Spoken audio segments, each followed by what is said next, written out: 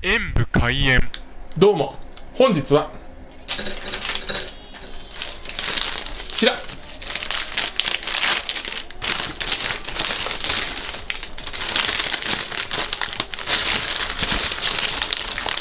ローソンの牛肉たっぷりメンチカじゃなくてえげんこつコロッケを食べたいと思います。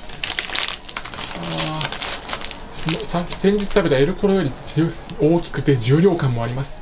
手に持った感じからそれが伝わってきます。ではいただきます。